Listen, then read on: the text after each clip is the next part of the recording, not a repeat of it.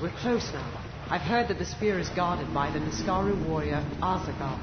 We will learn if it still is.